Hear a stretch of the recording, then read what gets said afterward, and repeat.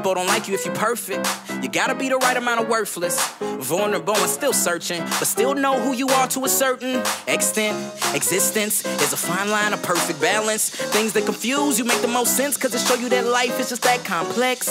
When scientists discovered nanoorganisms, there's a billion living things that they ain't discovered. If you could journey miles down a deeper sea, you witness species human eyes have never seen. If you could fly a rocket high at hyperspeed, you pass by uncharted cosmos and galaxies. They probably already know of other life sustaining planets. By the way, what really happened to NASA? What? I got more questions than I got answers. I got more questions than I got answers. I think quick, but the world move faster. I got more questions than I got, yeah. Got more questions than I got answers. I got more questions than I got answers.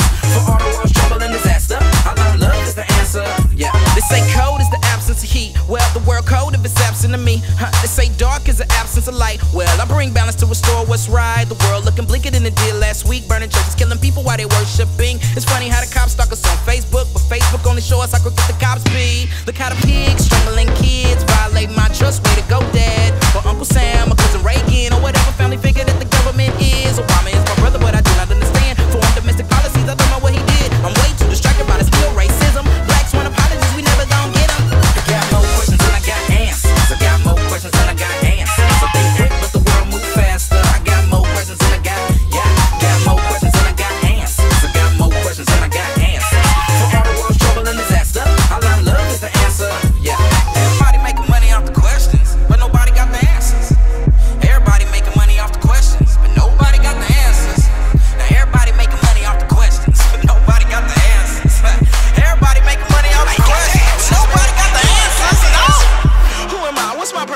How do I stop my hurting and then suffering? What happens when my body stop breathing? Can I still go to heaven as a heathen? And why does privacy no longer exist? And the internet compiled all of our intellect. How long until we slaves to artificial intelligence? I, robot, am legend, Will Smith.